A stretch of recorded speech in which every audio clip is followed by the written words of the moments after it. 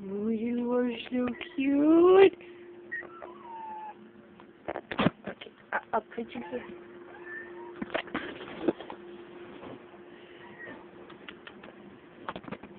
Get.